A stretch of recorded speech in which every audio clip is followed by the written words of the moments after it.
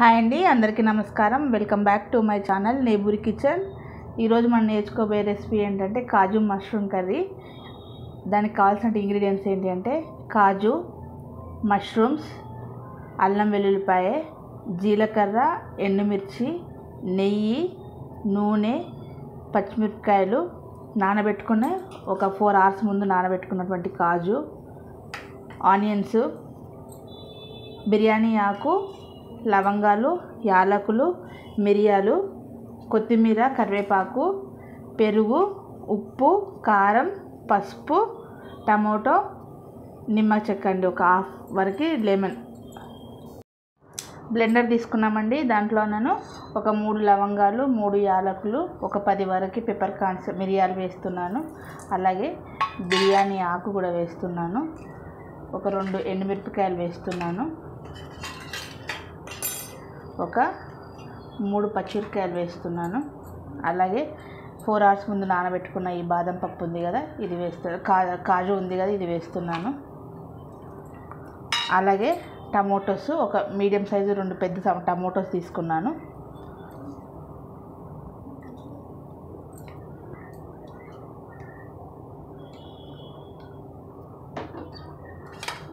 ఒక పది వెల్లుల్లిపాయలు ఒక ఇంచు మందం అల్లం తీసుకున్నాను. ఇది కూడా ఇప్పుడు దీంట్లో వేసుకున్నాము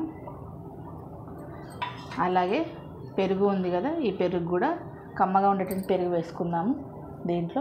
కొంచెం బ్లెండ్ చేసుకుందామండి ఇది ఫుల్ అయిపోయింది కదా. పేస్ట్ చేసుకున్నాం కదా దీంట్లో నేను పెరుగు వేస్తున్నాను. ఇప్పుడు మనం దీంట్లో ఆయిల్ వేసుకుందామండి కర్రీకి సరిపడంత.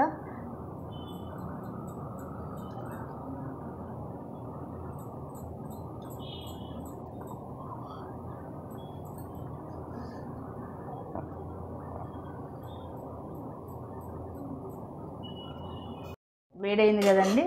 దీంట్లో మనము హాఫ్ కప్ వరకు కాజు తీసుకుంటున్నాను. ఇది కొంచెం ఫ్రై చేసుకున్నాము గోల్డెన్ బ్రౌన్ కలర్కి వచ్చేంత వరకు దీన్ని మనం ఫ్రై చేసుకున్నాము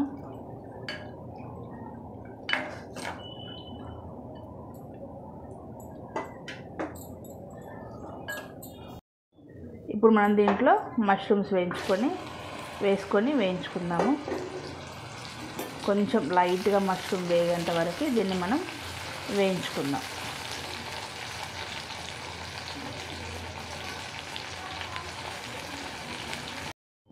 ఇందులో ఇంకొంచెం ఆయిల్ వేసుకొని ఇంకొక బాణీలో ఇప్పుడు మనం దీన్ని ఇందులో గ్రేవీ ప్రిపేర్ చేసుకుందాము.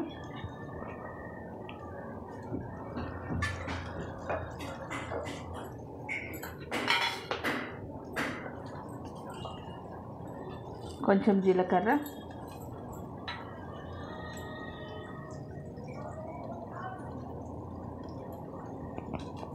ఇది కొంచెం చిటపట్లాడిన తర్వాత దీంట్లో మనము ఆనియన్స్ వేసుకుందాము. అలాగే దీంట్లో పచ్చిమిరపకాయలు వేస్తున్నాను. ఇప్పుడు సన్నగా తరిగి పెట్టుకున్నటువంటి ఆనియన్స్ వేస్తున్నాను. దీంట్లో మనము సరిపడా ఉప్పు కూడా వేసుకుందాము.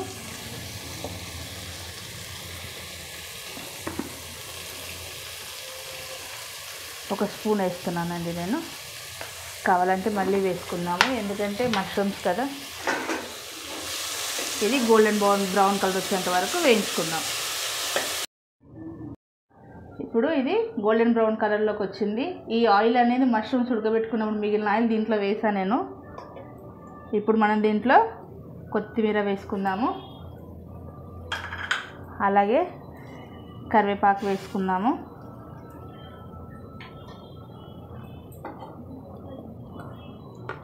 ధనియాల పొడి వేస్తున్నానండి.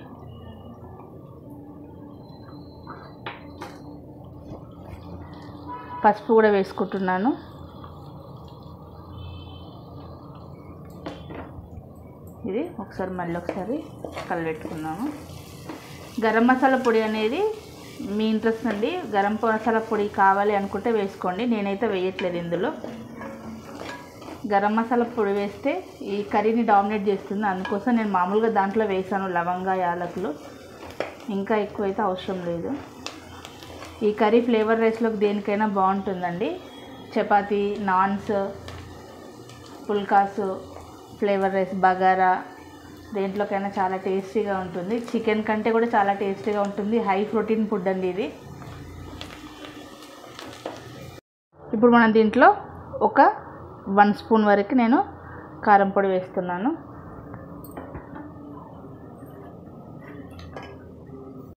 ఇప్పుడు మనము మిక్సీ చేసుకున్న పేస్ట్ ఉంది కదా ఆ పేస్ట్ దీంట్లో వేస్తున్నాను. ఇప్పుడు మనం దీంట్లో కొన్ని వాటర్ యాడ్ చేస్తాం ఒక చిన్న గ్లాస్ దాన్ని. ఇది మంచిగా ఆయిల్ ఫ్లోట్ అయ్యేంత వరకు కుక్ చేసుకున్నాము. ఒక ఫైవ్ మినిట్స్ కుక్ అయితే ఆయిల్ ఫ్లోట్ అయిపోతుంది ఆల్రెడీ ఎందుకంటే అన్నీ ఆల్రెడీ బాయిల్ అయినవి కాబట్టి ఇప్పుడు కాసేపు మూత పెట్టి మగ్గనిద్దాం దాన్ని. ఇప్పుడు ఇది కొంచెం కొంచెం ఆయిల్ రిలీజ్ అవుతుంది కదండి. దీంట్లో ఇప్పుడు ఈ టైంలో మనం ఇందాక ఫ్రై చేసి పెట్టుకున్న కాజు ఉంది కదా ఈ కాజు అలాగే ఈ ఫ్రై చేసుకున్నటువంటి మష్రూమ్. వేసి ఒక సిమ్లో ఒక ఫైవ్ టు సెవెన్ మినిట్స్ ఉడికించుకుందాం. ఇప్పుడు ఇది మొత్తం కుక్ అయిపోయిందండి. దీంట్లో మనం కొంచెం నెయ్యి వేసుకుందాము. కావాలంటే బటర్ కూడా వేసుకోండి. నేనైతే నెయ్యి వేసాను. ఇప్పుడు దీన్ని మనం సర్వింగ్ బౌల్లోకి తీసుకుందాం. సర్వింగ్ బౌల్లోకి ఇలా షిఫ్ట్ చేసుకుందాం. చూడండి ఎంత క్రీమీ క్రీమీగా ఎంత చాలా టేస్ట్గా ఉంటుందండి ఈ కర్రీ.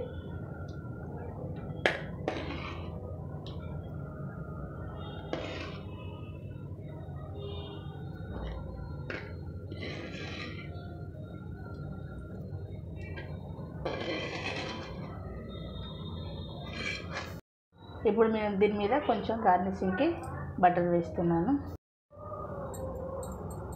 చూడండి ఎంత బాగుందో. కాజు కాజు మష్రూమ్కి మష్రూమ్ ఇలాగా.